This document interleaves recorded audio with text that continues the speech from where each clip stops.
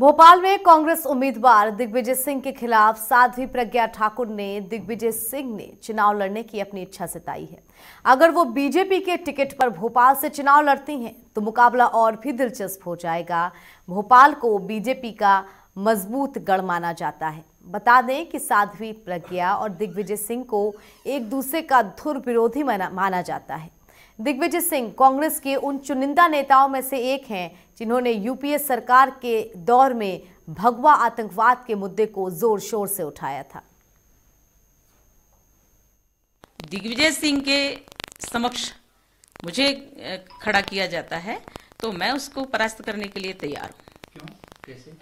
देश के दुश्मन को परास्त करने के लिए मैं बिल्कुल तैयार हूँ सिर्फ़ दिग्विजय सिंह नहीं कोई भी हो।